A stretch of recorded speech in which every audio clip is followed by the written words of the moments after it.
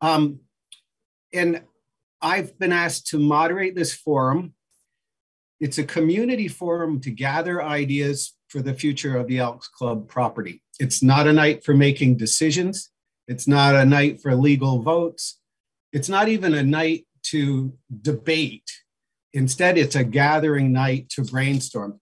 Um, my background is as a professional is in public facilitation, and I'm dedicated to public engagement and public process in service to each and all of you. And so uh, I'm looking forward to hearing from everyone and gathering as many different ideas from as many voices as possible so that this is a meaningful start to a deep public process around uh, a historic opportunity for the future of Montpelier. I'm just going to take a second before I introduce Mayor Watson to walk through the agenda so we have a sense of the sequence and structure of tonight's meeting. We're in the welcome section. We're going to go into some city information where, where uh, the mayor overviews where we are with the project in, in general and welcomes everyone to come together. And then Bill Fraser, the city manager, and his staff will overview the process to date around the property potential processes moving forward, information around rec services and the other uh, features of that could be part of the planning for the process, some basic financial information. Um, we'll then hear from folks from the hub who have a plan for a recreational facility that potentially could be part of this process there. Um, and hopefully Ethan Atkin is with us or someone else from that board will share uh, their overview.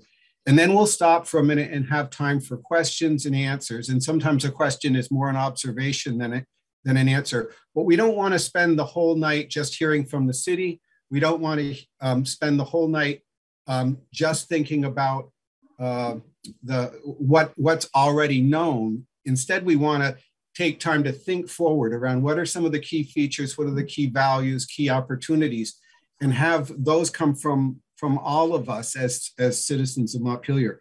So we'll have some brainstorming that gets into a discussion of the housing and the housing opportunities and some of what people would like to see in that regard, the recreational opportunities and potential provisions, the open space and what, what should that balance be and how do we preserve and protect things that are particularly important in the open space. And then an open time, about 15 minutes to hear your ideas and to gather perspectives that aren't on the table yet beyond those three areas. Then we like to take a, just a few minutes to say, what are some points of vision? And oh, I'll go through the process and ask people to lay a sentence on the table that could be part of a vision statement for the future of that property. And there's no right or wrong answers to any of this discussion tonight. We want to hear from everyone on all sides of the issues. And um, we, but we would love to gather some key points much of this will be brought back to you. We'll be taking close notes. The meeting's also being recorded for anyone who missed tonight and wants to watch it at another time. Um, we'll adjourn at 8.30 sharp unless we get done early and we run out of things to say. But I'll be looking to each of you to, to think forward and put, put your card on the table for what could happen um, in regard to the, the space. Um, I want to just now introduce Mayor Watson. Um, congratulations on your reelection, Anne, and we'd love to hear um, from you. Great. Thank you so much, Paul. I want to thank all of you for being here, for taking time out of your day to share your thoughts with us. And that really is the point of this evening. Uh, the council uh, had this wonderful opportunity to uh, potentially purchase this land. And since that bond has passed, uh, we'll be uh, pursuing that.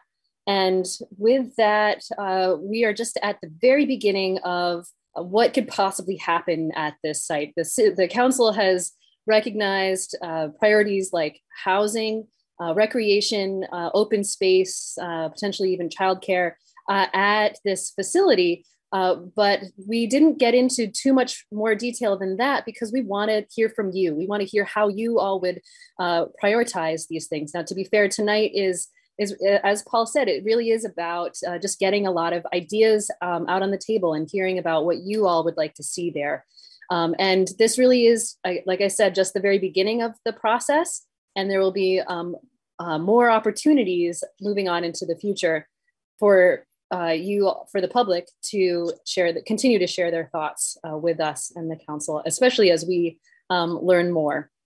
Uh, and just for that, I also I, I want to thank Paul uh, for facilitating this evening. We're so grateful to have you here uh, with us uh, running this meeting. And I, I'm looking forward to, to stepping back for a change. Um, normally with council meetings, I'm, I'm facilitating those meetings, but I get to just listen, uh, which I'm really excited about. And I'm excited to hear your thoughts. It's an opportunity to dream, uh, and that is always um, wonderfully fun. Uh, so I think that is, uh, that's it for me. And next, I think I, am going to turn it over, I think, to Bill for a uh, for some further details. Uh, thank you, Mayor. Appreciate it. Um, I uh, I would also say before I go into, I have a very quick presentation, like super quick.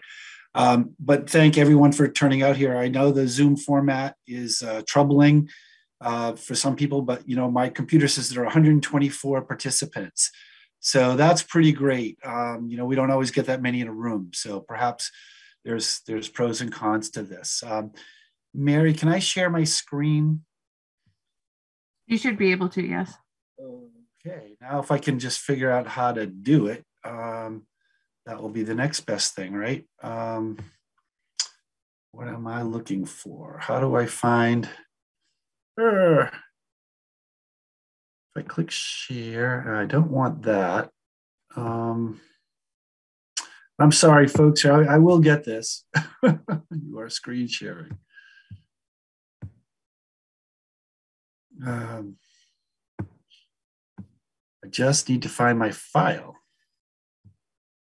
which is not. Here we go.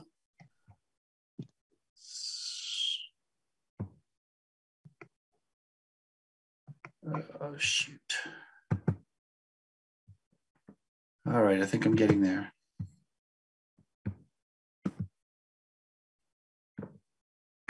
Okay. I think this is it. Yes. Thank you for bearing with me.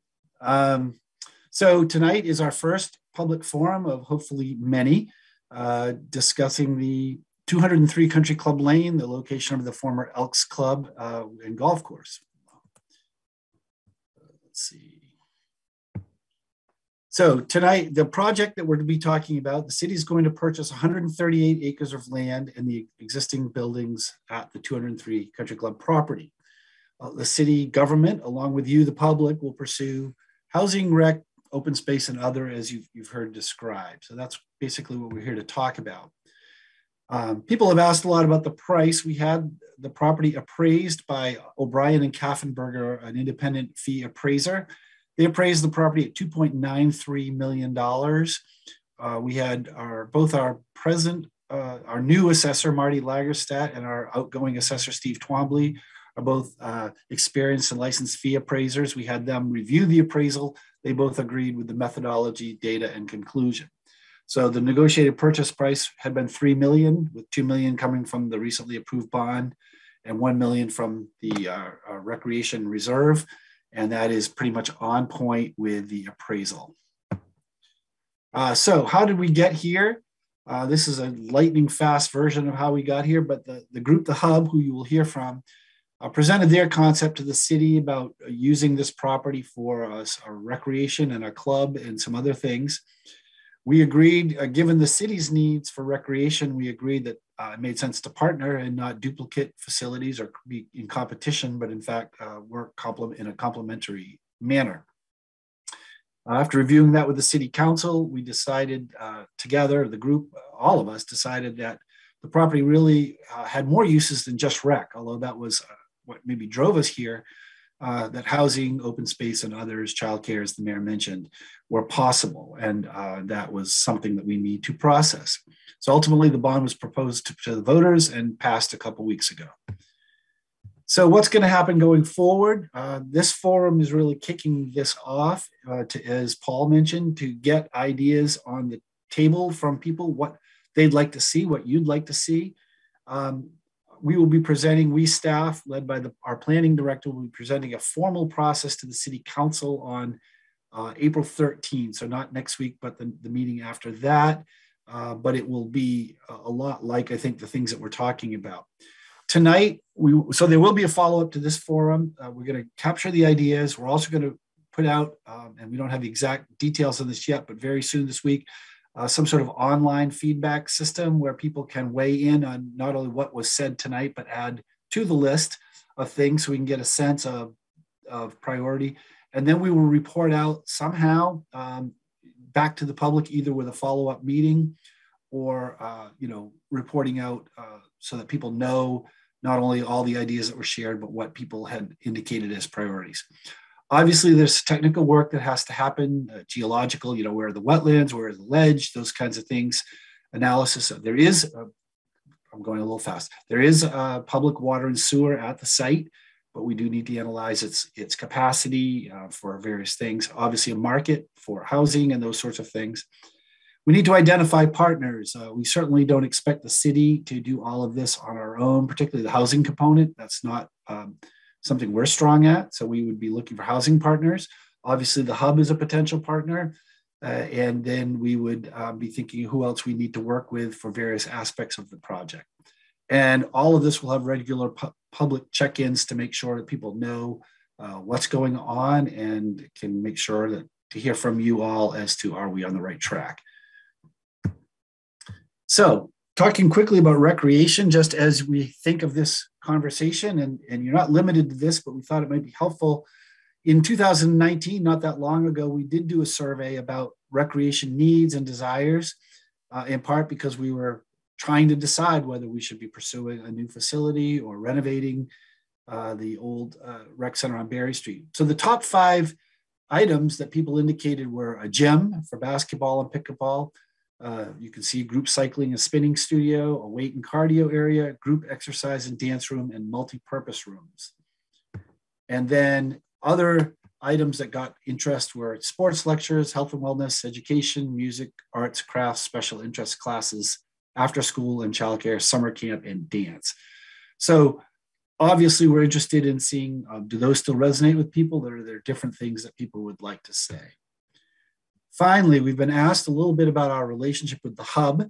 Uh, the Hub is a private not-for-profit organization, and they're looking to provide recreation opportunities for the community as well, and plan to invest capital, private, um, privately raised capital into the property and programs. The city certainly supports the potential for collaboration, public-private collaboration at this site, and the Hub Hub representatives will speak next, so I don't want to speak for them, but people have asked us about them. Um, that's it.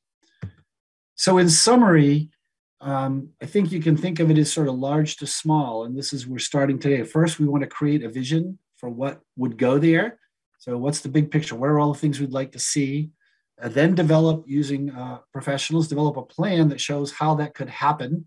You know, where housing might go, where certain things might be, what an open space might look like. And again, all of this with public feedback. Um, then we would have to engage partners to make certain parts of it happen. So the housing group might be one, the rec group might be another, and then implement it by its components. We don't have to bite this whole thing off at once. And I think recognizing that this is going to be a multiple year effort. This is not, you know, we're not going to have this all built out next summer. Uh, this is going to go on for a while as we as we plan this thing. So this is a long term, um, long term planning and uh, developing effort. So that's the short version of what I have to say of how we got here and where we see ourselves going. And with that, I will turn it back to Paul and stop my share. Thanks so much, Bill.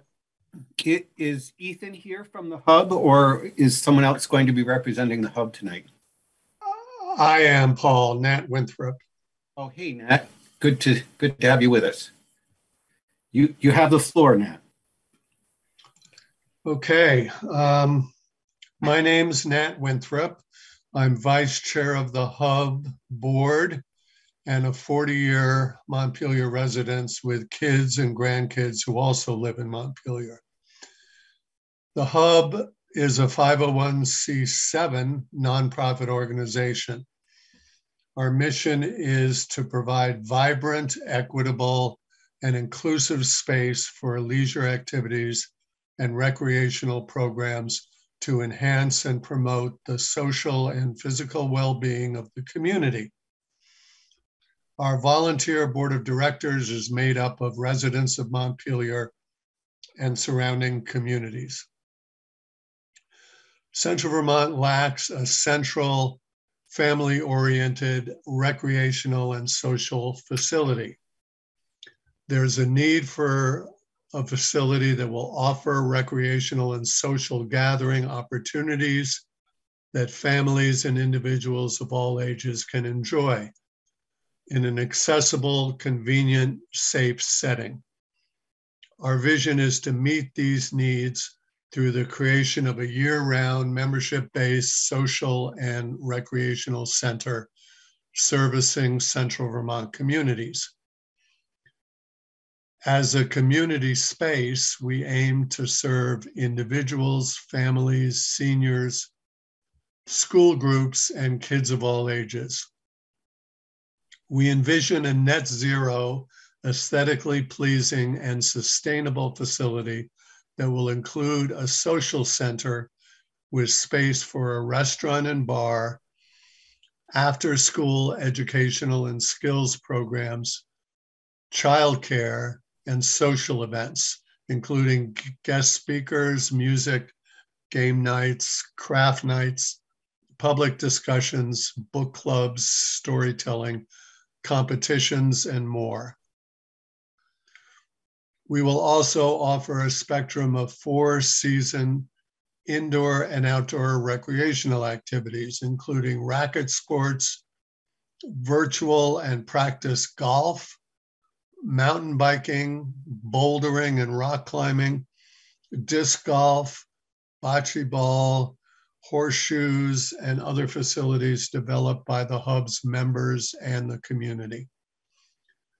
The Hub has been in discussions with the present owners of the former Elks Club for the past year and a half about building our facility on their property over the past six months, we've been in discussions about a partnership with the city of Montpelier to collaborate on finding ways to both individually and jointly offer as many social and recreational opportunities as possible in response to community identified needs.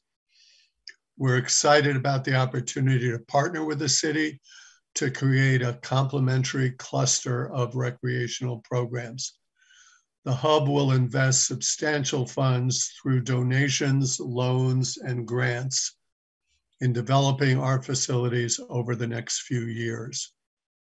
As suggested by our name, we plan to be a vibrant focal point for community life in all its variety the kind of asset that can attract businesses and families to the area, enhance our quality of life, and be a lasting legacy in Montpelier. I and other board members who are on this Zoom are happy to answer your questions. Thank you so much, Nat. Great to have you with us and and uh, really appreciate the intent that you have there to um, enrich the life of, of folks in, in Montpelier. Um, I'm going to ask folks to uh, raise questions. We have a good period of time to do this. Um, both presentations were shorter than they might have been. And I'm going to ask you to, um, folks know how to use the, the raise hand function you go to the bottom of your Zoom screen to reactions, click that, and it will give you the opportunity to hit the raise hand, and I will then see you up top um, in line, and I will call on people in line. Um, I'm going to ask folks to uh, to be brief in your questions so that we can get you know as much uh, information on the table as we can um, to share if you have an observation rather than a question. Oftentimes people ask a question when they really want to tell you something. That's okay too. But again, be brief. We'd, we'd love to have it uh, comments stay under two minutes. Remember, everything is being recorded, that all ideas are also being captured by a scribe so that this meeting is really a foundation stone to the future thinking with the community and it will be iterated back to you. You will hear back the ideas that hit the table in this meeting, and we're not judging those ideas tonight in terms of what's in or out of the package of things that might happen. We're simply listening and gathering together. The other thing I would say is let's do this in the best spirit of civic democracy and and let's not uh, have a, a mindset where we already know the answer to a question so that we're not fully listening to something that may be put in a way that we disagree with when it started, but try to learn from each other about um, the key in the idea that might be useful in the long run to the larger project. Um, that said, uh, please raise hands if, if you will, and we'll um, take some questions and begin to think this through a little bit as a team. Um, I see Nancy Bruce has her hand raised. I'll ask you also to uh, make yourself visible when you speak so that everyone gets a, a feeling for you. Um, and you have the floor, Nancy. Thank you. Thank you. And thank you for facilitating. Thank you for the hub and all the beautiful, amazing what you're offering to the community. I just, my question is um, when the, the rec survey in 2019 happened, I would I would be really curious if there was a cross section of um, city members that p- participated in that. Um, I worry that perhaps that survey reflects um, just one portion or of our community, and um, I think that there are many, many who want to participate and have opinions, but don't have an entry point. So thank you. Thank you, Nancy. So make like sure that, yeah, go ahead, Bill. Yeah, Nancy, I don't have the um, the data right here in front of me, but we had 513 respondents to that, and it was done in a random survey type. It wasn't a volunteer survey, but I can get more of the specifics on that. Um, and there were a whole series of questions, including how much are you willing to spend and those kind of things. Having said that, I think the reason I put them out there was we're not wedded to those outcomes. That was just what people said three years ago were top priorities. Part of this process is to hear what people think are, are, are the priorities now. Okay. Yeah, and uh, can I?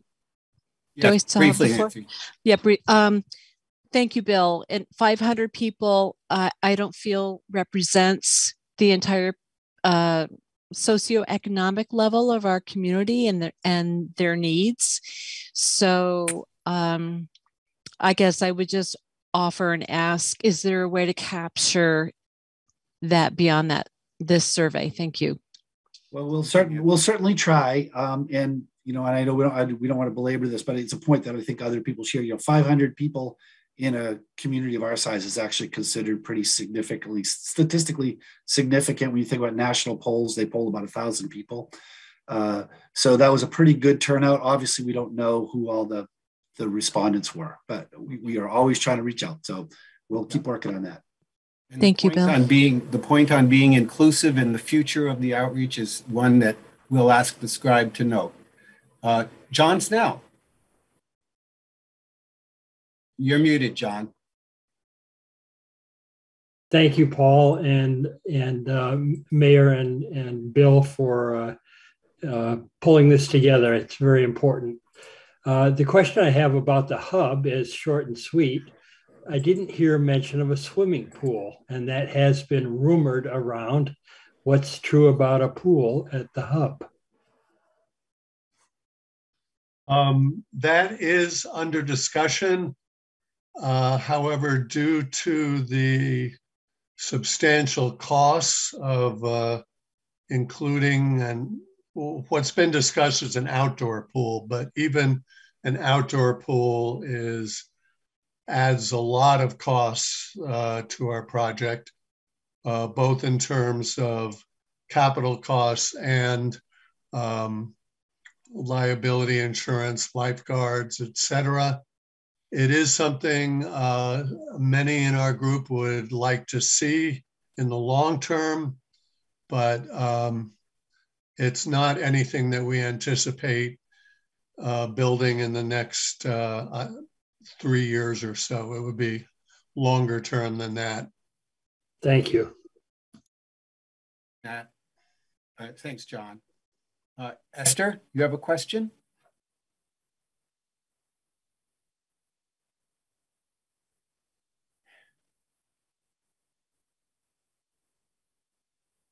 You unmuting, Esther? There you, there you go. It's it's hard for me to say anything about it. And I wondered if you, at some time you would have a walk through the property because I, I don't know what's level, what's on a hill, and I, that would be really helpful to me if we could have a walkthrough sometime. That's a great idea. Um, I'll ask the scribe to put that in the idea bucket as well. Uh, but Bill, do you want to comment on that?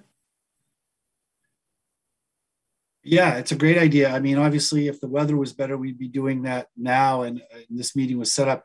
We've actually thought of doing a follow up meeting if we can figure out the, the hybrid way to do it at that site.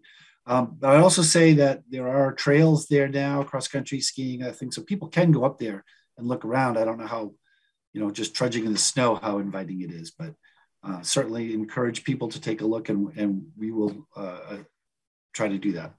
Well, it's, it's, it's just hard to see what belongs to the Elks property and what belongs to someone else too. So that would be, you know, I'd really like to do that. Thank you, Esther. Um, I'm going to ask Diane Sherman um, to to raise her question. I I know some people have been raising their hands sort of in the background. If you could go to the bottom of your screen to reactions and hit that, it will let you electronically raise your hand so you'll be in a line with people. Um, Diane, go ahead. Thank you. Um, my question is, I my memory is that um, there was a I don't know if there was the parks committee or commission or the whole city, but there I thought there was a recreational survey done in the last year and I was wondering if the results of that, do we have the results from that? And will that be taken into account um, in this process? So the, the most recent uh, rec survey that we have is from 2019. Uh, that's the one I was giving the data from a little bit at the beginning. Um, we'll make that whole thing available for people.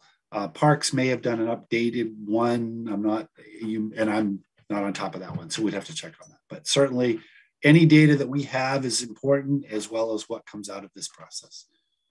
Great, thank ah. you. And I would recommend checking that out because it was fairly extensive from my memory.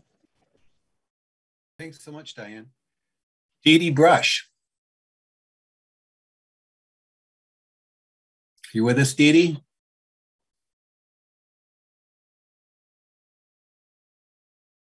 Dee Dee, you want to hit your video and unmute yourself in the far left-hand corner. Mute and start video. Right. My apologies, excuse me. Um, thank you all. Uh, I, I have three questions, which I think are pretty quick. So if, if they are not, cut me off. One sort of is similar to what Esther was suggesting, which is I'm not sure where the actual property lines are for the property. I've certainly skied there, walked there, uh, but I don't know what the 138 acres entails. So that's one question. It'd be nice to see a map. Mm-hmm. Um, wonder also about the maintenance uh, relationship between the hub and the city. If the city is the owner of the property, uh, what will that look like? Who who's responsible for what uh, as as regards to maintenance of facilities and or property?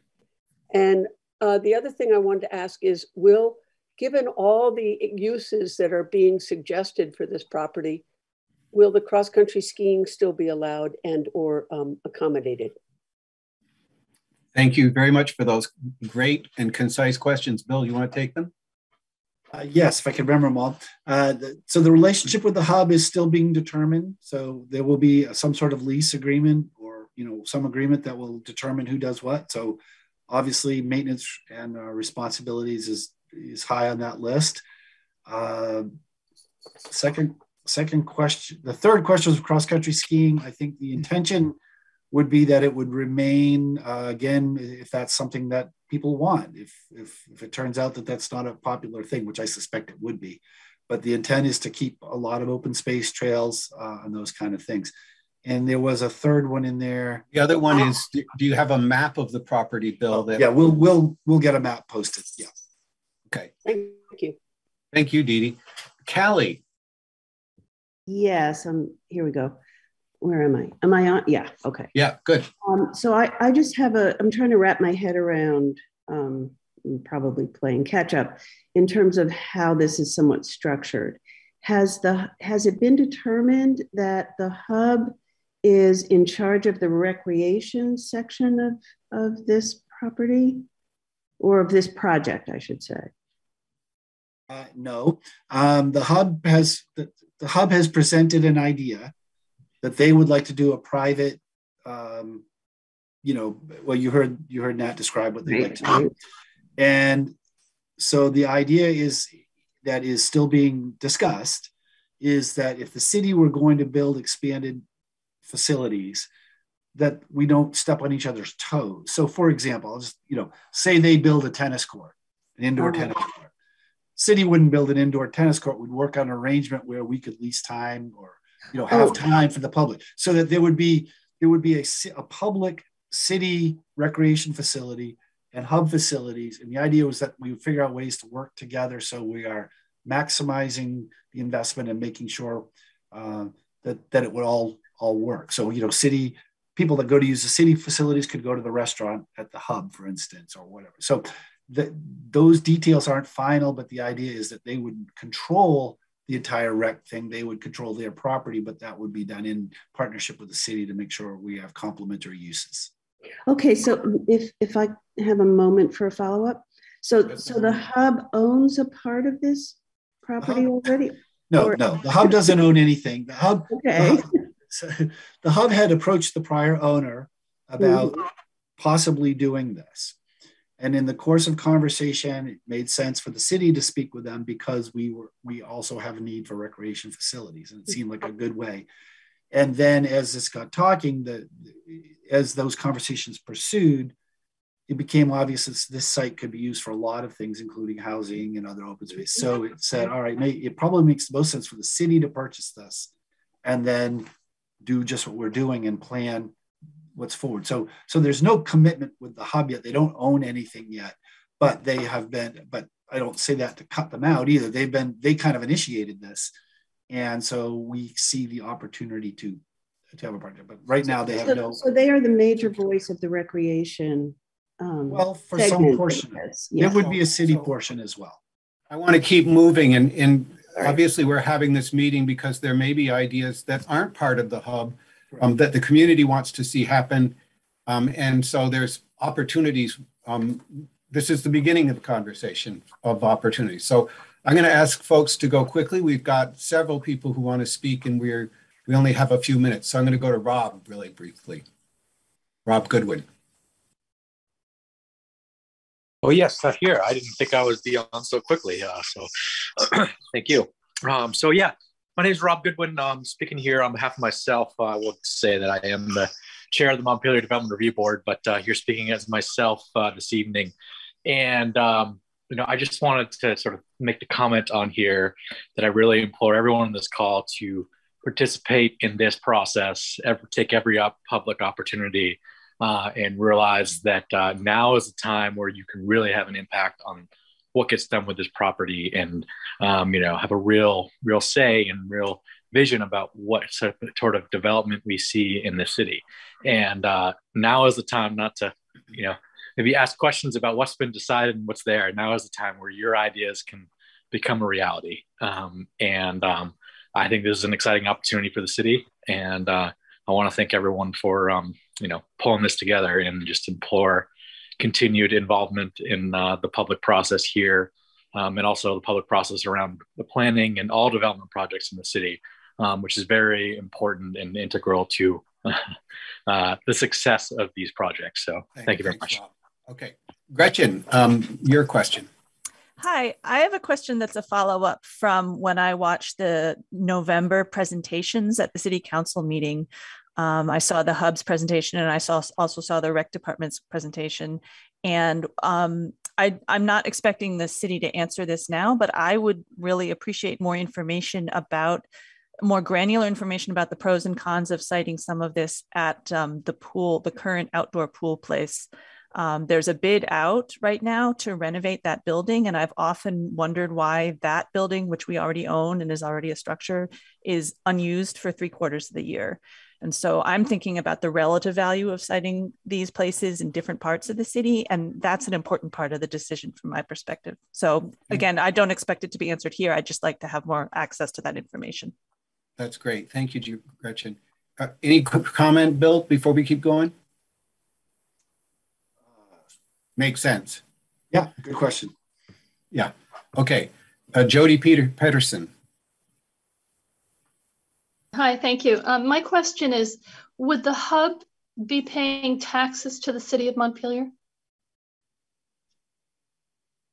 Um, so I appreciate everyone going into a lot of detail on the relationship with the hub. I would say again, it's very um, new. So probably if they did not own the property, they would not be paying taxes, but they would probably be paying lease. Um, because if we're the property owner, we would be their landlord. Uh, so there would be some relation unless they were providing public services in lieu of that. So if they gave us free tennis court time, you know, so there would be public value exchanged for their use of public land. Then we'll go to Sarah Hoffmeyer for the last question. There. Um, I was wondering if, uh, when we're in these early stages of planning, if there has been an economic impact study that's been done with Montpelier. I know I'm all about residents getting the uh, benefits, but also thinking about our tourism and what sports, what activities are going to draw in the most amount of dollars for our businesses. I know Blueberry Lake had a trail users um, study that was done not long ago. Uh, Vermont Trail and Greenways also had an economic impact study. So one, one similar to that.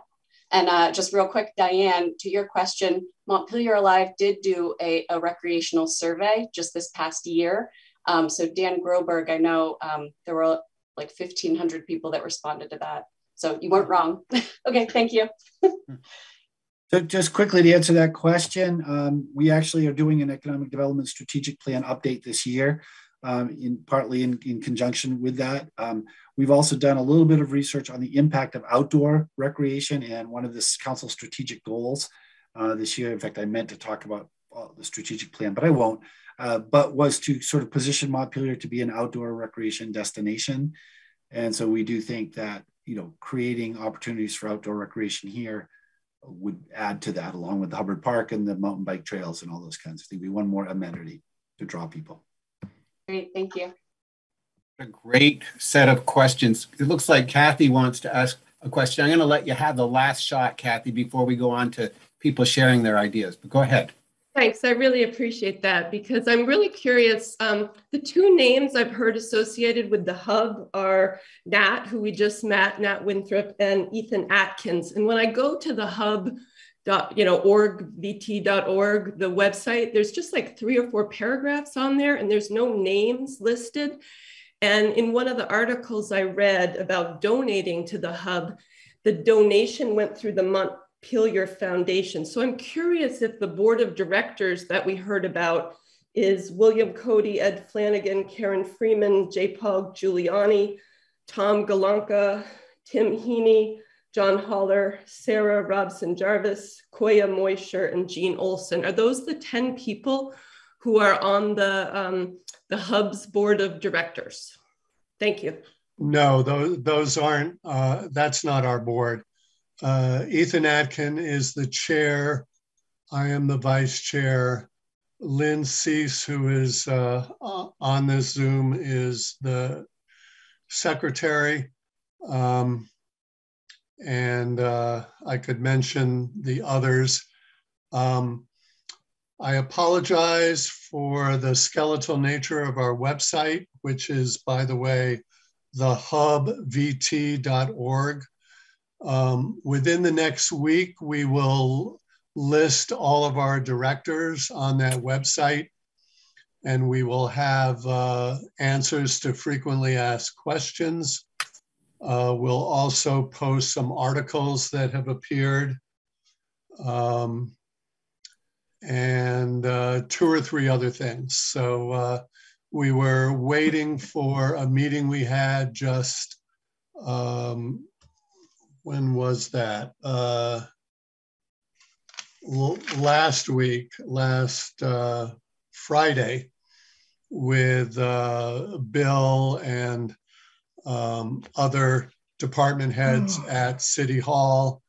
And we were waiting uh, to make sure we were on track with them, which it appears that we are, to uh, you know roll out uh, more information on our website. I, I'd anticipate that within a week uh, there'll be a lot more information on our website. Um, I see there's still people who would like to ask questions, and we really want to move on to gathering input, not just having um, information, but I, would I'd entertain a couple more if you can be brief and we can have short responses from people. Susan, are you all set or did you speak? I'm sorry, I can't. Susan Labarth? Hi. Okay, um, do you have a quick, quick question? Kathy asked uh, the first question that I had. Um, but uh, in terms of going forward, um, it would be important to me to have those doing the planning um, exhibit some expertise in the areas of, I don't know whether it's community planning, facilities planning, um, that sort of thing. And and that was well, that was one of the questions I had about the people uh, uh, who belong to the hub, whether they have that, whether the city has that whether we plan to engage that sort of thing. Um, let's stop. Let's stop there. Bill, do you have an answer for that one? Yeah, we absolutely intend to engage people um, with technical expertise in addition to the city's planning and our, our staff. Okay. Thank you. Thanks. Norman? Yes, a quick question. I was wondering if there's consideration for affordable housing on the property um, there's interest, and we're going to actually talk about that right next. And we're going to gather people's thoughts on what the best sorts of housing should be that should be on the property. So we'll get right back to that, Norman. Okay. Um, And- Andrea, really quickly. Yeah, thanks, Paul. I appreciate it. Um, I have uh, a, a concern that I'd like to flag for the city as they go forward with the project, which is this is historically a golf a golf club, um, a golf course, and if things like recreation and childcare and other kinds of activities are on the table, I think we need to look very seriously at the condition of the soil and the past history use of pesticides in that area um, to be sure that we're, and, and housing certainly, that we're not getting involved in something that could be incredibly toxic uh, for the okay. people who live and play there. And one other quick thing that I just want to note for everybody is that a 501c7 organization as designated by the IRS, is a social organization that is a membership group. And in order to achieve tax exempt status with the feds, they have to be limiting their membership. Thank you. Um, I, I, think a lot of this, a, a lot of further information will come into us being able to say what we think. Underneath, we have really an hour in our agenda around brainstorming around property uses. So, you know, uh, Andrea's comment that you need to make sure that the land is ecologically sound before you start having children's play area on it and so forth. You know, we can really lay out some of those think those thoughts in a way that the scribe gathers as points of public interest in moving things forward. So I'm going to turn now to the in our agenda. We're a few minutes late for it, beginning to brainstorm property uses. And the first one is around housing. So we've what we've got is 15 minutes to talk about housing, 15 minutes to talk about recreation, 15 minutes to talk about open space, and then to and then a 15 minutes to talk in an open way about any other ideas that you have for the future of the property that you want to kind of lock into the thinking at the very beginning of the process. And um, if you if you wanted to ask a question, uh, try to turn your question into an affirmative statement of what you think should happen. and that will drop into the notes for the meeting, okay? Um, Margaret, do you want to speak to the housing question? Uh, well, that was a uh, that, I, that was what the topic I wanted to bring up: uh, affordable housing, and uh, in light of the governors and others wanting more to attract more young families to the, this area. So uh, affordable housing. Affordable housing should be a priority. Great, thank you so much, Margaret. Catherine. You're still muted, Catherine. My particular interest, of course, is in the um, natural resources and the uh, climate resilience and environmental planning process. And I'm wondering what how this will will it be an organization where all these many aspects of planning will be coordinated and who how how might that happen? So the planning for all these different features should be coordinated. Um, Deborah Messing, you're not, there you go, thank you. Um, that these things need to be coordinated together. Thanks for that point. Esther?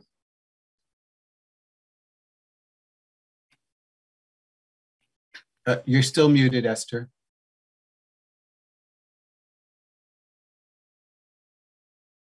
Esther, you're on mute. Would, would it be rental housing or would it be ownership housing?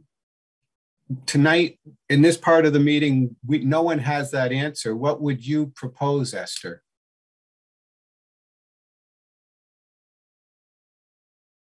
You're muted again. Okay, I, I think a, a mix would be would be. Um, I, I would propose that. Okay. Okay, thank you so much. I see Rick DeAngelis is on the phone. Yeah, hi. Hi, Paul, and hello, fellow citizens. Good to be here. Great discussion. I just want to underscore the uh, importance of affordable housing. And, you know, I've worked in housing my whole career, and um, an opportunity like this does not come along every day. It's really a a generational opportunity to build the diversity and vitality and fairness of our city. So uh, I'm all for putting, you know, recreation's great, but I'd love to have some affordable housing there. And I have a very specific idea I'd like to put in the idea box. And, uh, you know, I work for the Good Samaritan Haven, and we've got a real problem with homelessness uh, in our town and in our region. And I'd like to suggest that whatever housing that we do there, that we have a um, target that at least 25% of that housing uh, be targeted to people who are experiencing homelessness. And you know, right now we're at a moment in time that the, the resources are there to help make that happen, um, to uh, uh to provide the services and the support and good quality housing that can help those people get a new uh, a second chance. So I'll leave it at that. And uh, thank you everybody for all your energy and great ideas. Thank you, Rick, and thanks for all that you're doing. Um, John Snell. Yes, as a formerly uh, in my other life as a housing expert, uh, particularly with energy, I would love to see these buildings that are constructed be uh, energy neutral, uh, net net zero, and a mix of housing types so that we have not only rental and purchased, but uh, multi unit as well as single and uh, duplex type housing. Terrific. Thank you, John. Um, Zachariah Watson. Hey, Paul. Uh, yes, uh, Zachariah Watson, and uh, joining me here is Peter. And um, I, um, I uh, just want to make a plug for uh, what uh, actually what John just said is uh, a mix of housing um, and um, specifically creating opportunities for affordable home ownership as well. Um, those are my recommendations. Affordable home ownership as well. Thank you so much, Zachariah. Uh, Vicki Ann.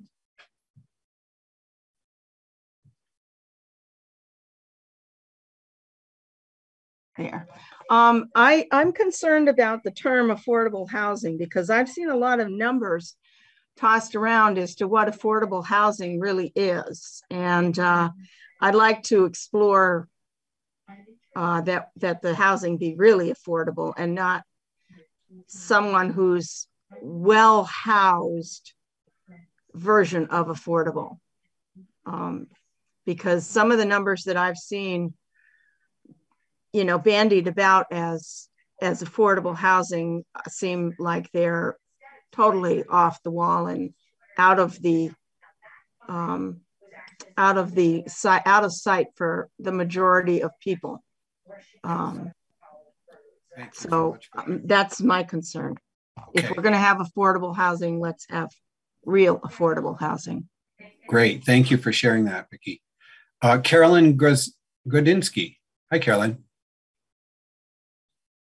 I have dogs barking right now. Um, I just wanted to say, with all the um, issues with uh, congestion in town, I would suggest at the same time that any project goes forward with housing or uh, the rec center that we're looking at public transportation, connecting with Cross Vermont Trail and the bike path and everything to get people out of single family cars. Great. Thank you so much, Caroline. That should be a systems issue in, in the whole design here, huh? Um, Nancy Bruce. How was that? Hi, Nancy. You're there. You Hi. Go. Yeah, Paul. Thank you. You're doing a great job. What a hard night, um, but a good night. So, housing.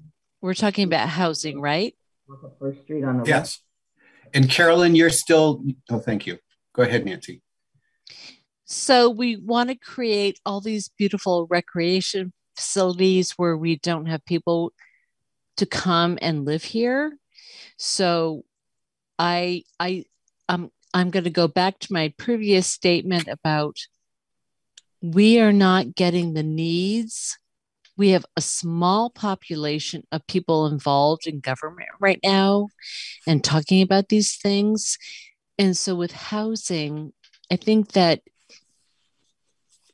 you know, an indoor pool, all these things, we have to we have to house the people that want to be here, Vermonters that want to stay here. Great. Thank you so much, Nancy. Sean Sheehan. Sean. Hey, Paul. Hey, everyone. Um, yeah, great, great event. I, on the housing, I just want to echo, I think, what's been said on the uh, diversity of housing. Um, I think in terms of both rental and and ownership. Uh, but but also I think in terms of multifamily homes and and density of homes, which I think feeds into what's been been said. I think in, in Vermont, um, you know, we we're so heavily um, single family homes, and um, and I think as Bill and others have pointed out, usually when things go to a developer, I think I saw last year, eighty percent of across the country are more single family homes. So I think as as others have said, this is a great opportunity to do multifamily housing. Also, um, great articles in Fast Company, New York Times about intergenerational housing. I think as we get older and also want to attract young people, there's some great initiatives being done across the world. Um, be happy to share those articles to add to the, the record for the um, for the night of really where there can be a development. And I think it feeds off of the trails, the recreation. I think what we're talking about really can add to that, add to the grand list, um, have more affordable housing in the sense of at least being relative you know, having a small home is going to be affordable relative to a large home. Um, excellent, excellent, so. Sean. I'm gonna I'm gonna cut you off because you're a friend of mine. I can do it publicly. you can. Thanks. Uh, but Thanks, but uh, but um, if if you want to send articles or thoughts, you can send to msmith at montpelier-vt.org. We're going to be gathering materials to make as much of this input as we possibly can and we'll repeat that at the end of the night. So I'm going to ask folks to go quickly. There's a lot of people who are lined up. Amanda Carlson. Hi, Amanda. Hi there. Good evening. Uh, thanks for hosting this wonderful community event. It's great to see uh, an evolution of all the conversation that was happening on Front Porch Forum. Uh, quick comment about transportation. Totally second Carolyn's uh, suggestion to really think about public transportation and maybe even a devoted transit route going up there frequently. And then also, if the city's taking out a large bond to invest in housing, maybe consider buying a fleet of shared vehicles if we're installing a big housing development. And um, that's my idea. Thanks. Thank you. Very creative. Brian Evans. Hello, everyone. Uh, I want to be just another voice in the chorus here. Uh, I'm looking for affordable housing, looking for housing for the uh, the homeless, and I would also like to throw a note in there for um, senior housing as well. Um, would also like to see if we could possibly codify a percentage of any new um, housing projects on the facility, uh, on the property to be affordable housing, if we could put that into code. So that's part of any negotiation with future developers. Thank you. Okay. We'll capture that idea, Brian. Thank you. Carolyn. And then Catherine. I want to uh, play off of uh, Brian's uh, comment about the housing for the elderly. I think in addition to that, uh, it should be handicapped accessible, that I see very few listings for uh, available housing that's on one floor and seniors have trouble with stairs as do handicapped people. Thank you so much for making sure that's in the record, Carolyn. We think about that. Catherine, and then Susan.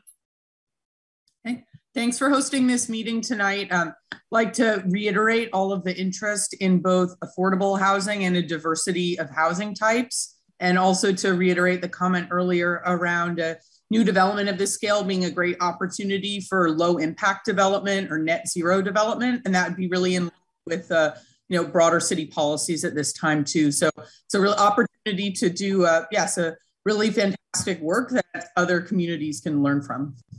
Terrific. There's a lot of points here that should enter maybe a vision statement that we throw together some ideas around that at the end. So I hope people will stick around. Susan, you have the floor briefly. Uh, you're muted. I'm working on it. There you go. Um, I just, I would just reiterate what people were saying about public transit. I think it's going to be important to start that conversation soon. So, yeah. Okay. Because if you're going to house people, and you want to say, if you want it to be net zero, that's a big factor. Okay, we're going to turn, thank you so much. We're going to turn to recreation in a minute, but first we're going to have Jody, Dee Dee, and then Amanda. So Jody, you have the floor. Hi, thank you. I just want to agree with everyone who's been talking about housing. This is my number one um, priority for this land, and I really would like to see a lot of effort go into figuring out how, how we can plan a really great community up there. Thank you. Thank you so much. Dee Dee. Hi, um, thank you again. I I had transportation as one of my questions, but people have already addressed that. It's very clear that if housing is is a major compa- com- component there, as well as the idea of getting kids to recreation or daycare, transportation has to be a huge component. The other thing I wanted to say was that I wondered whether it is already considered that the residents of all of the housing would have affordable access to all the recreation facilities. Good comment to have in the record. Thank you so much, Dee Dee. Um, Amanda. Amanda, are you waiting to speak?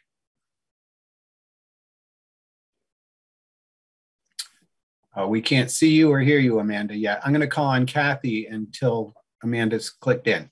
Kathy, briefly. Yes, thank you. I just wanted to invite us to really break out of old paradigms and try to think about new paradigms when we think about affordable housing. And in particular, one of the ideas to explore is that housing that's intended up front, not to be like flipped and made a profit off of, but perhaps that like instead of giving the way land away or selling it it gets leased for people to um, for some amount to build homes on and the people that live there can own the home but mm-hmm. have a restricted amount of um, increase that they can gain as sort of profit over time. And so in that way assure that the homes remain affordable like in perpetuity. Thank you. Great. Great. Thank you Lisa Moody, and then Vicky, and then we're going to turn a corner. Lisa. How can I? Where's me? I'm right there. Lisa. Okay, there. Sorry. Um, talking about transportation, my one thought is that there's one entrance into the property now. I'm assuming there'll be thoughts about other ways to get in and out of the property, or Okay, that- it's going to be rather congested. Great point. Thank you, Vicki Ann.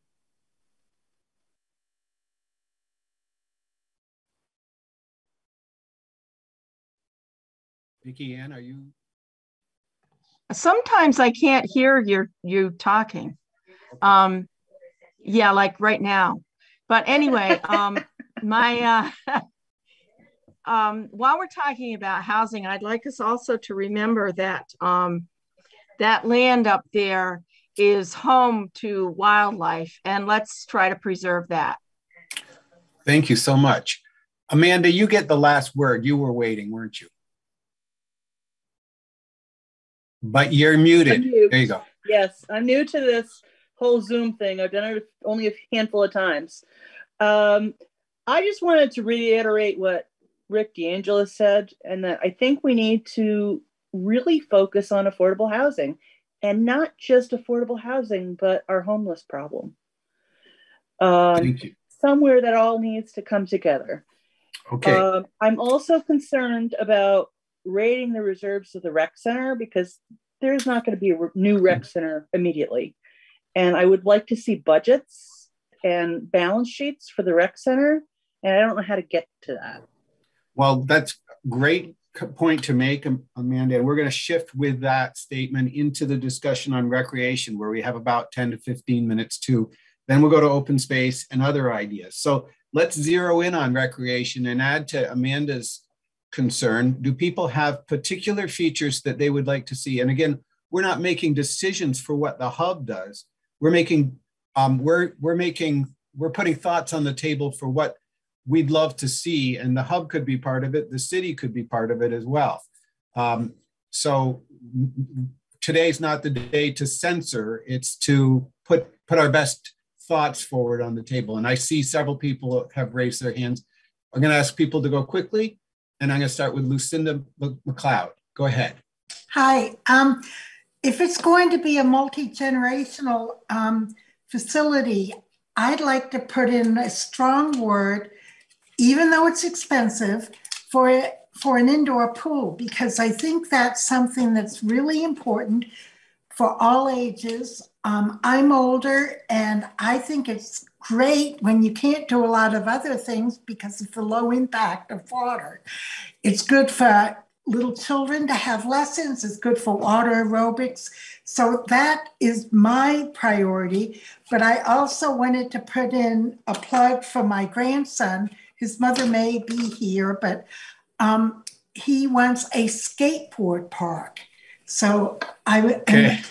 I am advocating for that for a 13 year old. Thank you. Wonderful. Thank you so much, Lucinda. I see Giovanna Peebles. Hey, good evening, everyone. Um, as part of the recreation visioning, I really want to uh, emphasize public transportation. We've said it for the housing. I think everything we talk about has to be underpinned by public transportation and specifically electric vehicles, electric uh, little minivans, big big buses. We have to go electric with our public transportation, and we absolutely need to put that front and center as we go forward in our in our planning and our vision. And thanks again, Paul. Thank you. Thank Yep. you. Thank you, Giovanna. Um, and then I see Susan. I also think that we should be considering, several people mentioned the possibility of using the bike path to get to this facility. I think that if that is something people wish to consider, we need to think about how that path is maintained in the winter and how that path functions at night. Hmm. So just kind of contemplate if that's going to be a major way for people to get back and forth, upgrading it, thinking about how it works for people so that it is safe and functional all season.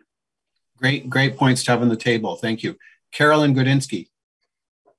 I might be talking with about the wrong group, but I just wanted to be noted um, because I was a former parks commissioner and there's a whole green print that connects all the open spaces that every community has access to open space. This it needs to be coordinated with the Parks Commission green print.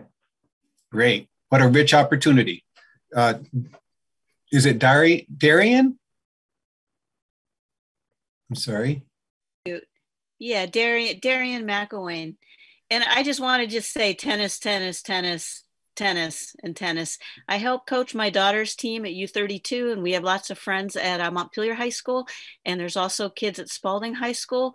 And now that First in Fitness has switched, uh, those teams are no longer viable during the winter time and um, you know before when they had that available it really brought those kids together and really helped the sports. Um, so i'm just just want to give my plug for tennis. Okay thank you so much darian. Nancy bruce.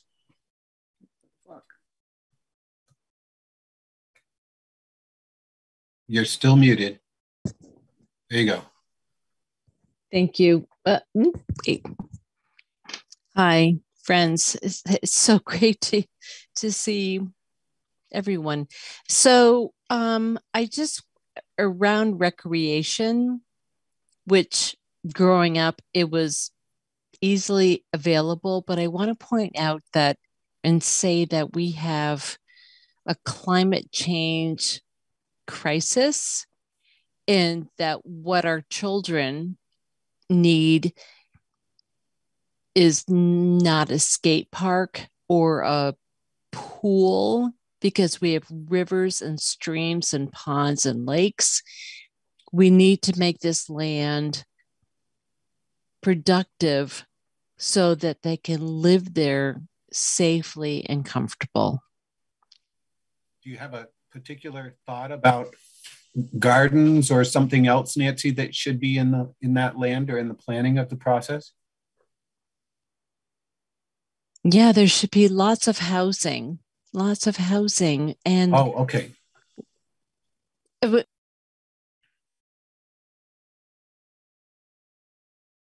okay. Um, John Snell. Thank you, John.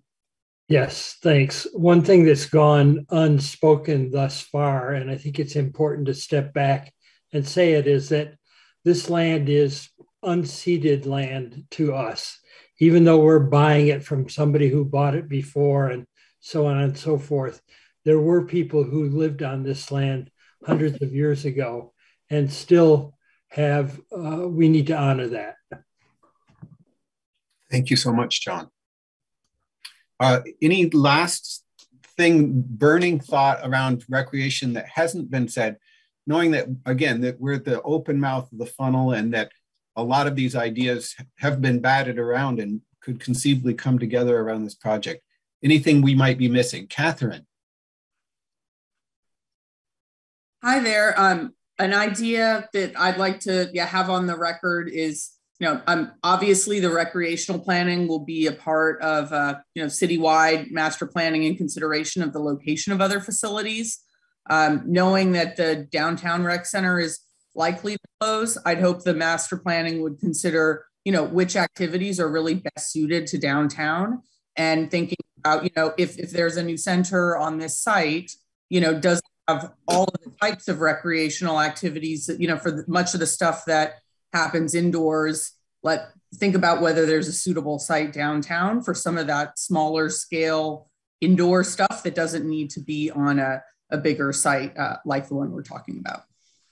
Great. Thank you, Catherine. Think of the system and where the different functions belong. And um, that's terrific. I see uh, Vicki Ann and Dee Dee again. I'm, I'm hesitant to give you guys another chance before we've heard from everybody, but I, I will. Um, but I'll ask folks that haven't spoken around open space to be thinking about that because we're going to turn to that in about one minute. Vicki Ann.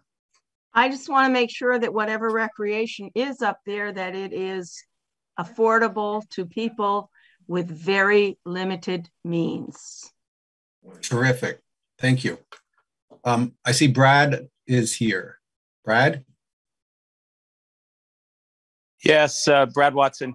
Um, I've lived here since 1997, been involved in a lot of the rec programs in Montpelier, a lot of the youth programs. And I think what I've seen in this community is antiquated facilities um, when I first moved here, we participated in fundraising and, and built the Central Vermont Memorial Civic Center.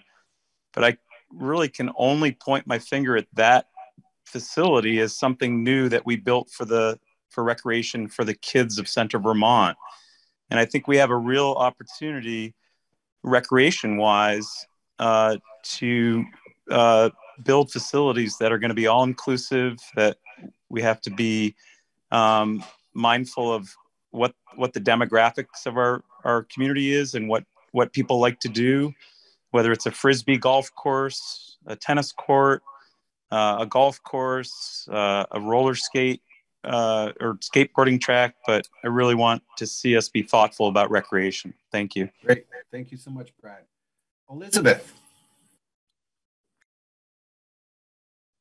Uh, you're muted.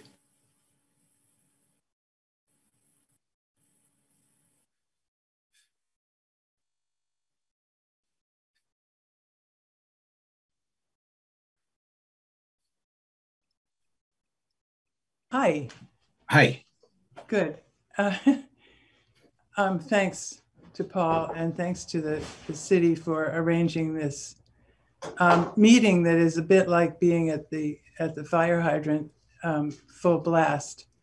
And what's occurring to me is that we have a lot, a lot, a lot of good ideas, and uh, we, I, I, I sort of think about placing those good ideas on the property and suddenly realize that, well, we don't know much about the property. We don't know what its carrying capacity is. Um, we know where it is, but we don't know what it is. And um, I think that it would be helpful to um, conduct uh, a site analysis, an in depth site analysis, and find out more about where the bedrock is, um, what the soil can carry, and so on, and how we can um, assess this site's buildability uh, and convenience for people against the buildability and convenience of property that we have closer to the downtown. So a site analysis and a and um, a, an analysis of the pros and cons of other properties that could be in play. Thank you. Great. Thank you so much, Elizabeth. Um, I want to turn to Peter Cohn.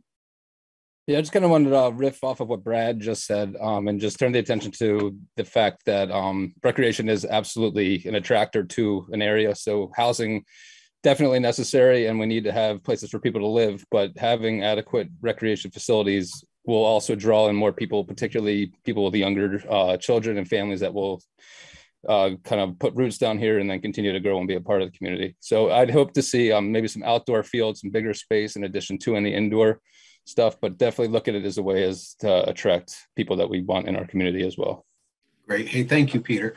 Um, let's turn a corner again and all these things interrelate. Obviously where housing goes connects to re- recreation. Both of these connect to the open space that's there. And we've heard people say it's really important to consider the wildlife corridor. And we've we've heard people say where is it? Where's the boundaries of this space? How does it connect neighborhood? How does it connect to transportation? How does it connect to the bike path? So um, as we think about it as an open space for the future, are there particular values or particular things we would want to preserve, protect, or enhance um, around the open space that's available there for the future of the community? Maybe this one's a little more abstract, but we'd love to hear anyone's thoughts about this. We'll start with Callie.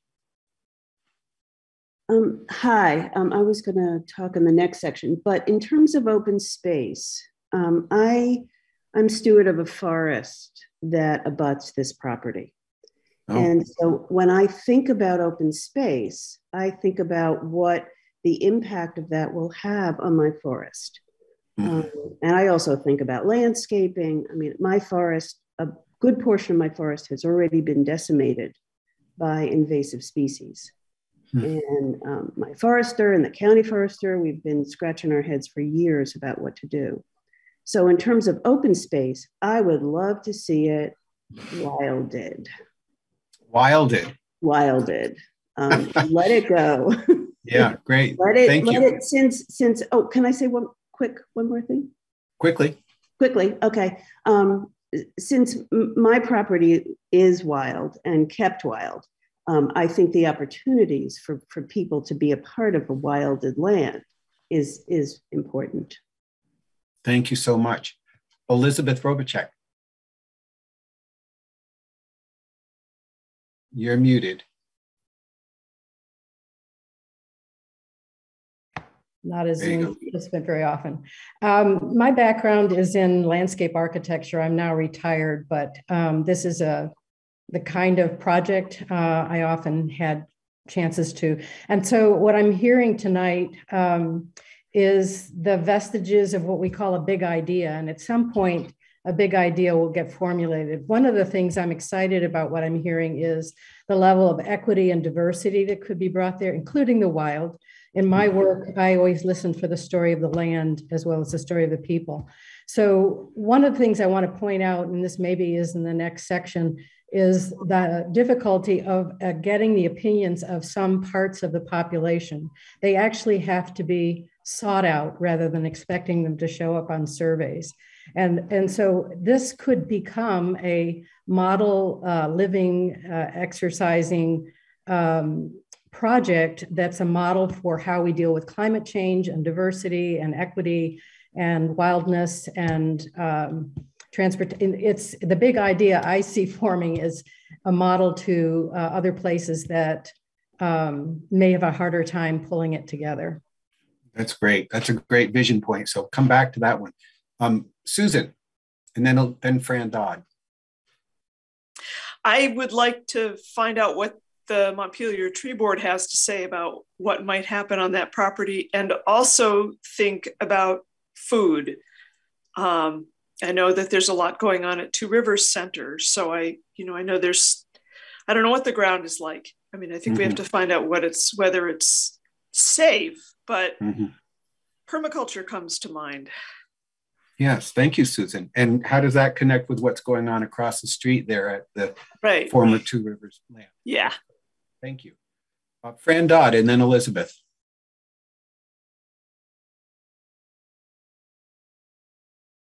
Fran, are you with us? Uh, let's see. Uh, sorry, I have to turn those both on. Um, thinking about the attractiveness for tourists as well as for a wide variety of housing, I think it's would be ideal if in placing the housing, if it's done in such a way that there's some of the aesthetics of the property that is preserved so that it will be attractive both for those who live there and for those in the rest of the community, as well as for the broader public that we might want to attract to the area. So I'll leave it at that for the moment. Yeah. Um, Thank you very much. Elizabeth Parker, and then Charlie Dickinson will be next. Dickerson. Elizabeth. Yeah. Oops, getting there. Hi. Um, so I just wanted to talk about uh, the uh, intersectionality of having public transit and car shares uh, for the uh, residential members who might live in this area in this on this property uh, to reduce the amount of parking lots that would be there. Uh, hopefully, the parking lots would be permeable.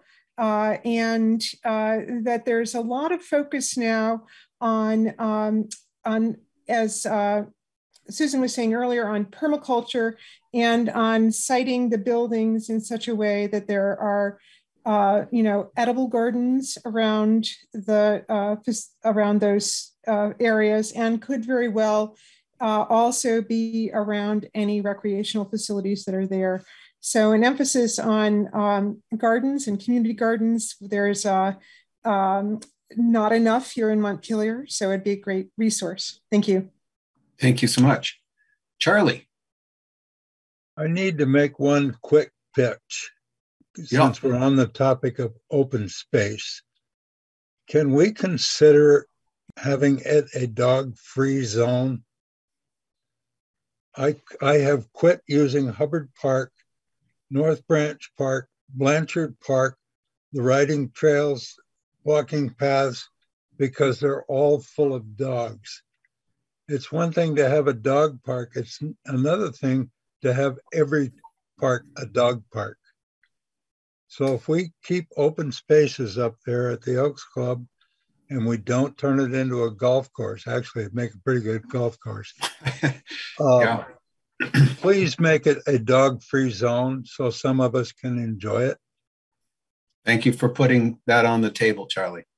Um, Watson, I see a W Watson. Hi, Wendy Watson. Um, I would like to put a plug in for the city um, to put in an awesome sliding tubing hill for the children.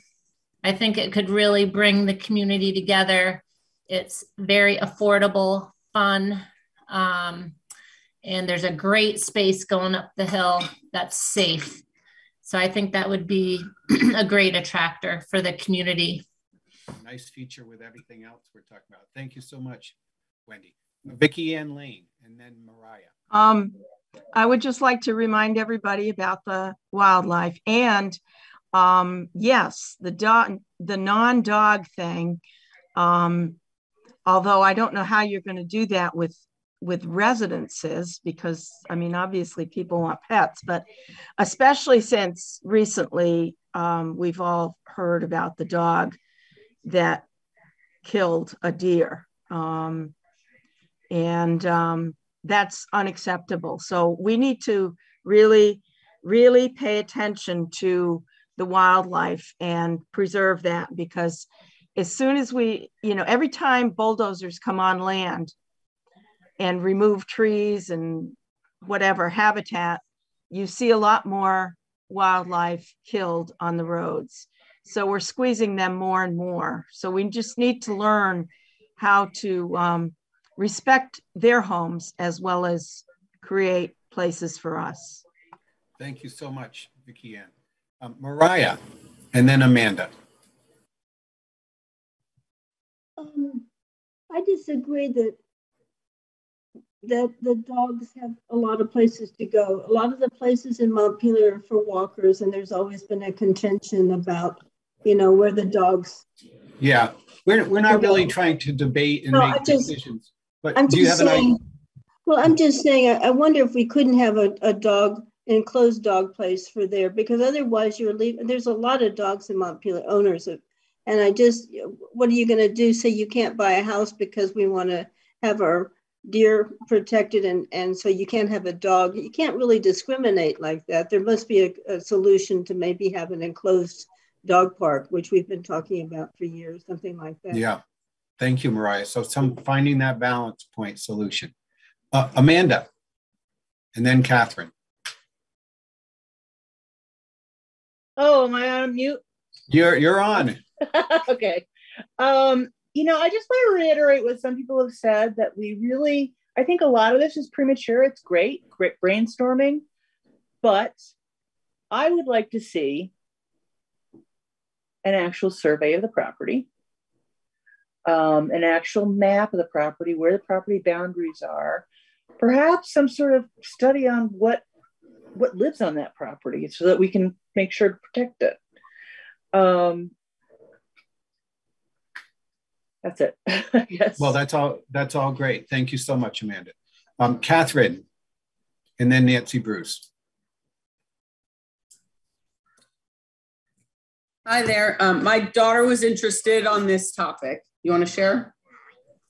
Okay. Now she's a little nervous, but she could hear this and wanted to be sure that it was on the record that it'd be great to have a playground on the site. And Ca- um, Catherine, that's really important. Catherine, what would you like to see in that playground?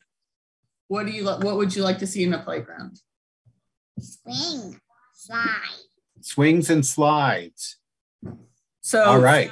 Those would be some really cool ideas. And I could also picture, um, you know, there are a decent number of playgrounds in the area. So thinking what's unique about this site and making it a unique playground for this site. So maybe it's an adventure playground or more seesaw. Yeah. It? Yeah, it could be more nature inspired if it's up against uh, the kind of recreational landscape. So, you know, this could be fun for a real engagement event with kids, uh, like drawing their ideas and stuff. Well, so thank you so much, Catherine, and, and your daughter. Your daughter is very important to all of us, and we appreciate her sharing her thoughts. Hey, Um, well, this Nancy- came right before bedtime, so thank you. Yeah. Oh, and her animal's got something to say too. Um, Nancy Bruce.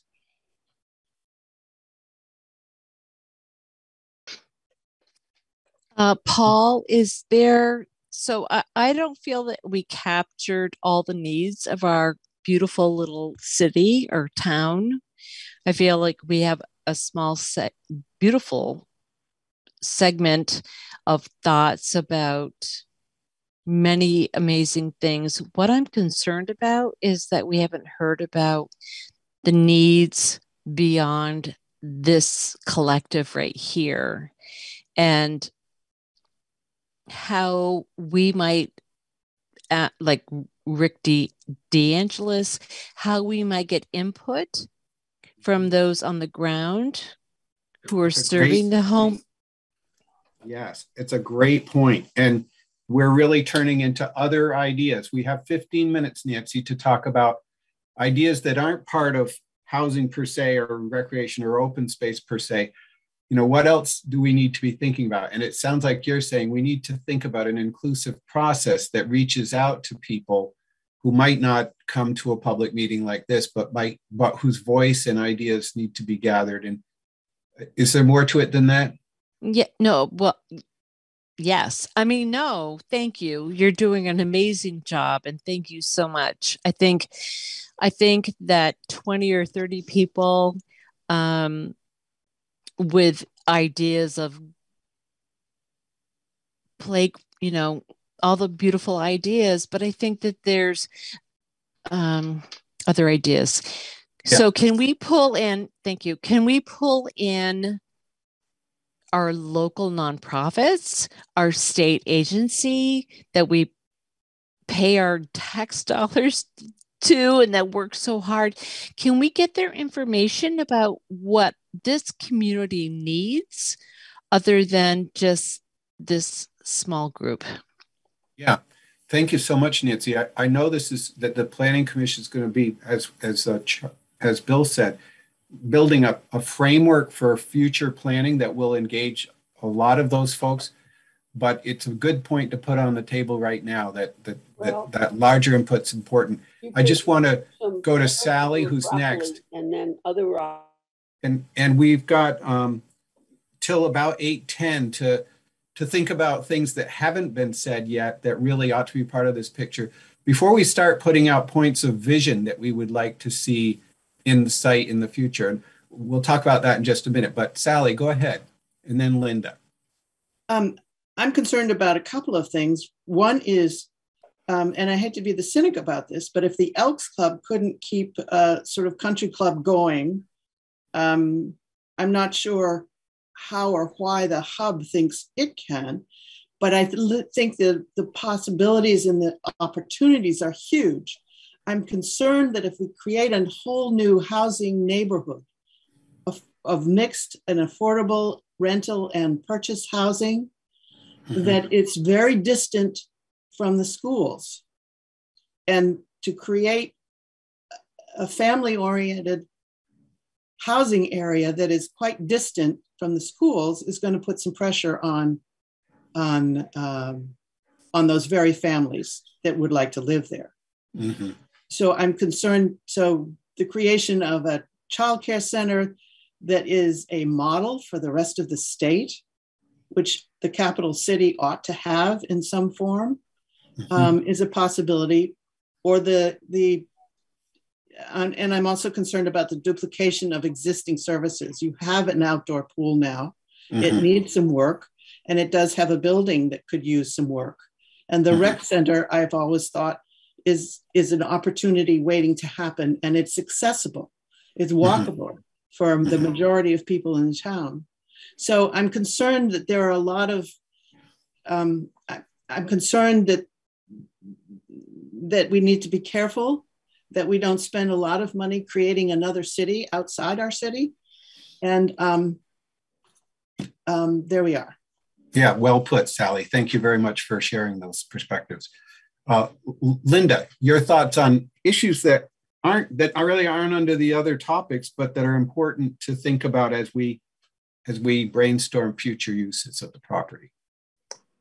Hi. Um, one of the things that I found lacking in Montpelier is a good theater or musical venue. I don't know if that would fit into a, a building site like this, but I would love to see that. I think it would um, allow for the space to be used on um, evenings and would draw tourists into the area. Um, so just my thought. Great, thank you. Kelly. And then John Snell. Yeah. Uh, yes, thank you.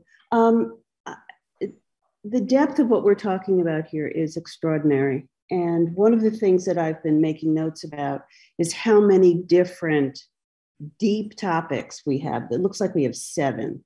And so I would like to put forth the idea that um, I don't know who's, I guess, city council create either committees or task forces that would look at each one of these issues. I could listen for you if you want um, in depth so that the environmental piece would be looked at in depth with all of its uh, concerns transportation, recreation, housing, infrastructure, budget, um, because that it just is is too big. And that's my idea. Great. Thank you so much for sharing that that thought on how things could proceed. John Snell. Thank you. Um, I think Sally does strike an interesting chord in that we could potentially be creating uh, a city within a city, if you will, a large, very viable neighborhood. We've done that in other places around the city as well. One thing that we've lost in the process are neighborhood groceries and services that that can provide to a neighborhood. And I would love to see, as part of this process for the Elks Club, that we look at the zoning down on uh, on Route Two and make sure that there's the possibility of uh, growing those kinds of support services that are needed. Thanks, John. Dee Dee. Um, thank you. Um, I, I really, really appreciate that last point of John Snell's about the um, additional resources, particularly if we're talking about a lot of housing in that area. Um, a couple things. Um, the activity at the current rec field versus the new Elks Club, there must be some ability to integrate some of those things that are being envisioned for the Elks Club at the current rec field. Um, there are spaces, uh, not not for everything, but for some of the activities that are being envisioned. So I'd like to throw that out. Mm-hmm. Um, and I also wonder if, I don't know what the city is envisioning for the rec center on Barre Street, whether that's usable for anything or nothing. And I'd like to think it's usable for something that mm-hmm. might take some uh, space requirements off of the Elks Club. And mm-hmm. finally, um, many people have talked about the natural resources. Well, uh, uh, for the natural for the Elks Club, and I I would like to suggest that the more uses that we add to the Elks Club, the fewer natural resources and wildlife will survive. And I don't think it's um, realistic to think that we can do all of those uses and also protect all of that natural resource and resources and wildlife. Thank you. Thank you so much. And clearly you're pointing to that need of having a comprehensive look at those different resources and how they work together. And um, point well made. Thank you. Uh, Giovanna, and then Susan. We haven't mentioned the educational opportunities of this property. And uh, I do want to put it in the bucket list that I want to make sure we include educators in planning our projects. There's forests out there, there's wildlife, there's potential historic resources, archaeological resources. Um, I want to include the North Branch Nature Center as a strong potential partner because they have uh, fewer acres than, than, than this property is. And there might be some great synergy. I hate that word, but uh, collaboration between them. So that's all. Thank you. Thank you, Giovanna. Susan, and then Lucinda. I also, I kind of got into this conversation before the vote with a concern about property taxes. And I think that we need to look at a balance of how this property, you know, what does this property generate? Does it generate more expenses or does it generate any revenues to the city and how does that work? Because I think we're going to have to be cognizant of some of us hitting a point where we don't have as much income to spend on property taxes. So I, I think looking at it in terms of revenue neutrality, maybe, I don't know. I just think Not, it's something we need to really consider. Yeah, thank you. Not just net zero, but revenue neutral or better. Uh, Lucinda Lucinda McLeod, and then Sean uh, Sheehan. Hi, um, I really appreciate the comments about us looking at all our recreational facilities and deciding what should go where. Mm-hmm. I mean, I too would love to see something happen at the rec center, and it would be a perfect spot for an indoor pool.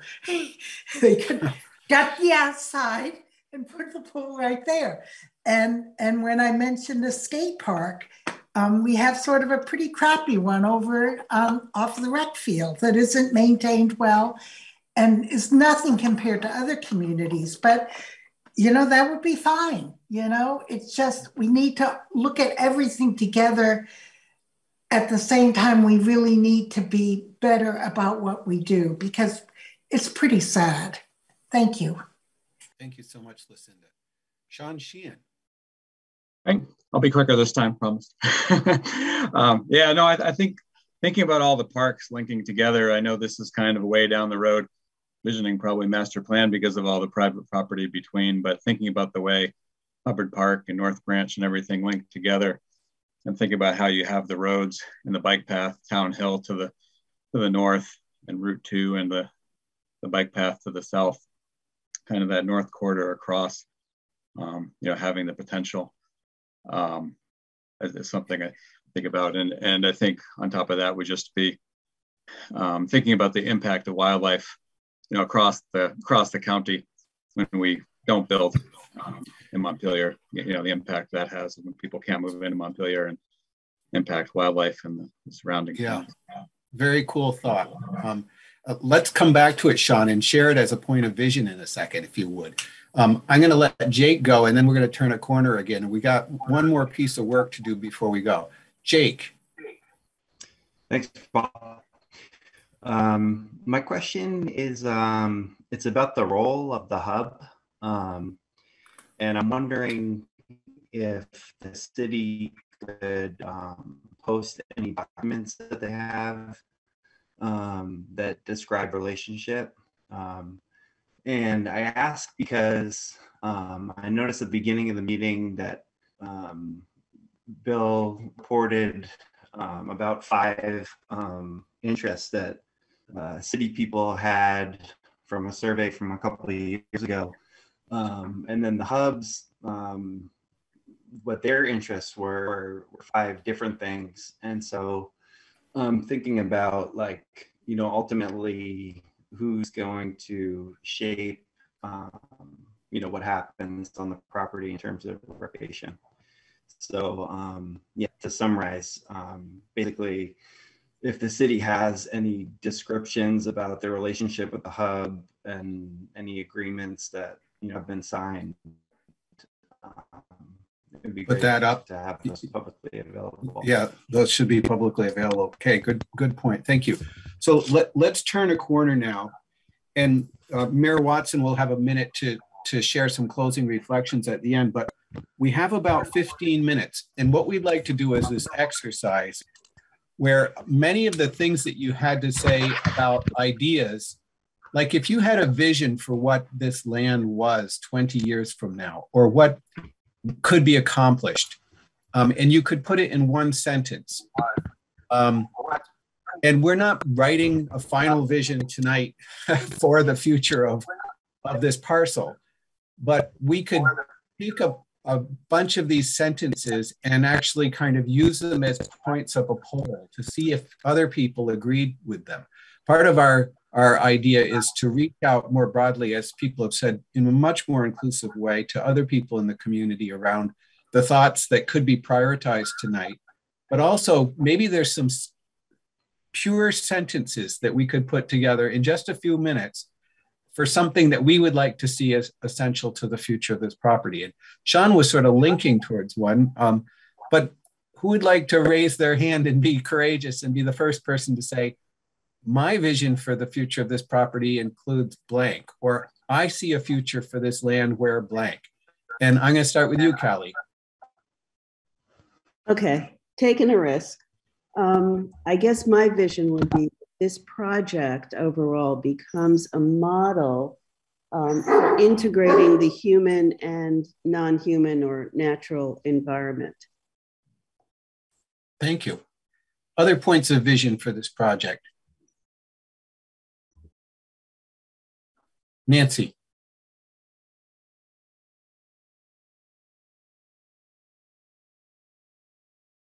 You're still muted, Nancy. Yeah, you thank you.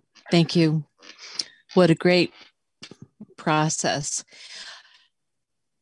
The future, I hope that our future generations are grateful for what we did with this resource. Great, thank you. Re- no, regardless of what the current needs for individuals were to meet the needs of climate change and everything coming before us. Okay, thank you. Other, other one sentence descriptions of a part of the vision for this property in the future. I see a future where um, Audrey,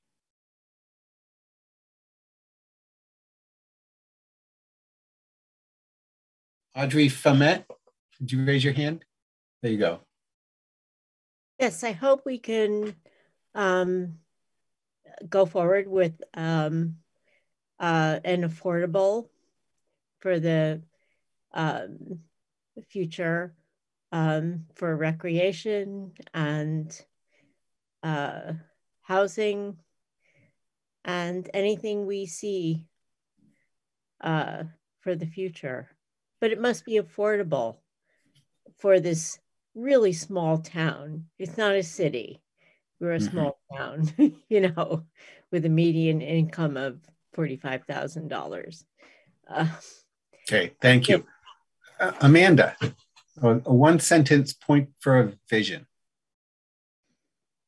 And then Elizabeth will be next. You're muted, Amanda. uh, all that br- brilliant articulation, you were muted through. We still can't hear you. There you are. No. Amanda, you're on the in the far left-hand corner. When you scroll down, you'll see a microphone that you click on.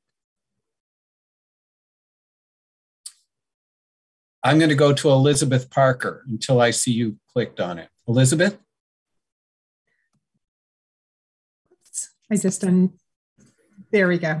Um, go ahead. So um, uh, I vision that uh, we uh, have uh, really assessed the uh, capabilities uh, and potential of the property itself and sited housing and other uh, uses for the property, property as is appropriate to its capacity.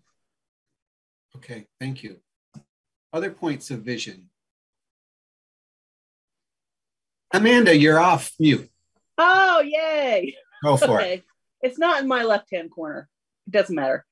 Um, I just envision a place where it is affordable for, for people to live here. Okay. It has become very unaffordable. And yes. The rec center is great. You know, tourism is great. I think we should be focusing on the people that live here and what they need. Okay. Thank you so much. Anyone else have a vision for the future of this site? And it can be it can be anything from how we work together as a community to get there to how it fits with everything else we want to see for the future. Kathy, do you have a point of vision? And then Susan. So this land, this unceded land that was stewarded by Abenaki for generations upon generation becomes a source of inspiration, strong community, homegrown food, accessible and, and uh, affordable homes, recreation, and deeply respectful interactions between the people who live and go there, the land, and all living beings. Thank you, Kathy. Not right off the top of your head. That was well done.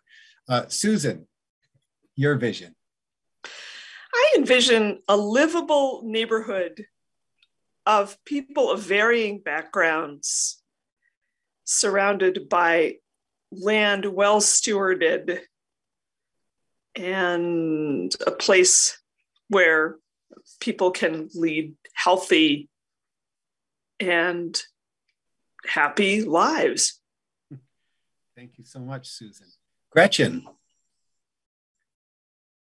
I envision ending up somewhere that we got to through an inclusive process where we build a common vision. And so we we all as a community share that vision um, and work together to get there. Thank you so much. Fran Dodd.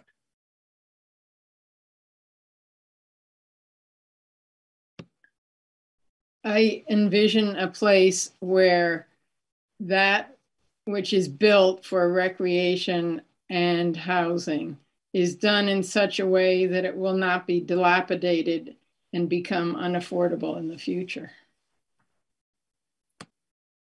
Okay, thank you. Sean Sheehan. I, uh, yeah, I see a I see a future where uh, people who want to live um, in central Vermont can find a place to live within the city limits if they so wish, and um, can have walkable access to community recreation and nature. Thank you so much. Anyone else have a point of vision that they would want to have included? We, have often done this where we built it like a scorecard and we actually have people review the scorecard and see which points they agree with in the future as part of a process like this, and then ultimately add them together as a, something of a consensus statement. Is there anything else that we're missing that ought to be part of such a vision?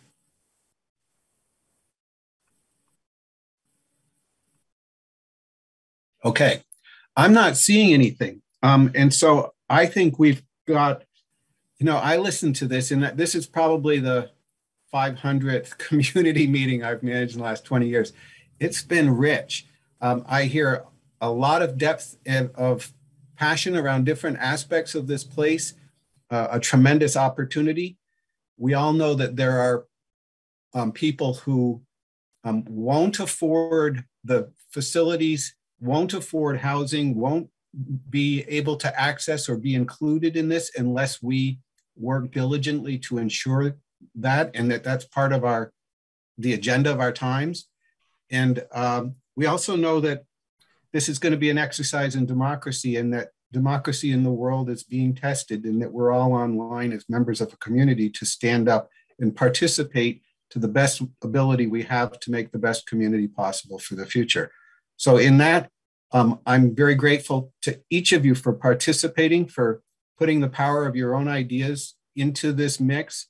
Um, I encourage everyone to be engaged, to be participant, to work with the city and, and um, help to push things forward that are essential to doing this right. So um, it's been great to be part of this process. And I'm going to turn it to um, Mayor Watson to share her reflections to conclude the, the evening. Mayor? Thank you, Paul. Uh, and I again, I want to thank all of you for being here, for sticking it out to the end. Uh, I really appreciate all of your thoughts, and um, I, I uh, can speak for myself here and say that I heard some ideas that I had not considered, and I, that I think are really valuable. And uh, I'm really grateful that people took the time to share those thoughts. Uh, and I, this is also um, possibly the the largest uh, meeting I, I, we've had. I mean, at, at our highest point, I think I saw we had 155 participants, and that is just uh, remarkable. Uh, and I would again also encourage everybody to stay engaged and uh, participating in this process. And I'm looking forward to the next steps where we can uh, have more information and start to um, uh, prioritize the things that we've heard and uh, uh, make some decisions. So thank you again to everybody. And I think that is it. So unless there's anything further you want to say, Paul, um, i guess I'll say good night to everybody. I guess we would just say we'll be in touch. We'll be sharing information on the meeting through uh, Front Porch Forum and elsewhere, and um, and there'll be opportunities to reflect and respond to the information on the table. And then, meanwhile, if you do have an idea that comes to you at two in the morning and you want to make sure it's not forgotten, you can email msmith at montpelier-vt.org. That's msmith at montpelier-vt.org. But I think everyone pointed to the need for surveying, and there'll be opportunities to lay your ideas in there. And uh, meanwhile, thanks to the city folks that put this together and to the scribe who's going to have to pull it all together uh, on paper the next day or so. Um, in, enjoy the evening, everyone. Take care. Thank you. Thank you, Paul. Thank you. Thank, Thank you for you, doing everyone. this.